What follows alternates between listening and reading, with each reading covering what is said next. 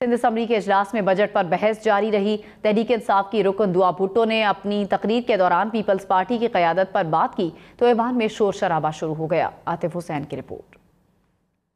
Assembly का इजलास हजब रवायत एक घंटा चालीस मिनट की ताखिर से शुरू हुआ। तहरीक इंसाफ की रुकन दुआ भुट्टो ने बजट इजलास में होने वाली हंगामा आरई का तस्करा करते हुए पाकिस्तान पीपल्स पार्टी की क्यादत को तनकीद का निशाना बनाया। आप यहाँ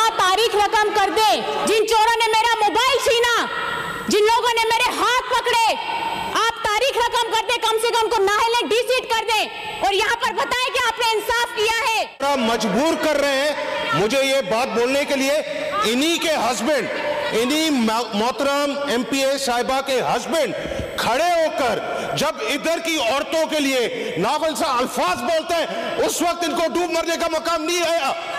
वो भी M Q M peoples party Tehreek Insaf और जी डी ए के अरकान ने बजट बहस में तकारीर करते हुए सबका और मौजूदा हुकूमतों का दिफा किया। हुकूमत सिंध से भी कहता हूँ कि अपनी हरकतें बंद कर दें। ये जो काम इन्होंने शुरू किया है सियासी विक्टमाइजेशन का। आखिर में मोहतरमा फरमा रही थी कि बारिश हो रही है अल्लाह बारिश जो है वो जहमत ना हो रहमत रहे। तो जहमत तो होगी क्योंकि आप लोग काम नहीं कर रहे ना सीड अवेलेबल है ना पानी है। फर्टिलाइज़र की कीमतें आसमान से बातें कर रही है। और सिंध गवर्नमेंट आपने ये ट्रैक्टर मार्च किया फिर आपने ये महँगाई के खिलाफ मार्च किया गवर्नमेंट को हटा दिया। अब उसका रिज़ल्ट गवर्नमेंट तो हट गई। महँगाई क्या हुआ?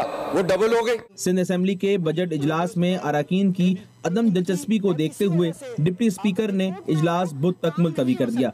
कैमरामैन आमिर रजा और आमिर अली के साथ आतिफ हुसैन हम न्यूज़ कराची।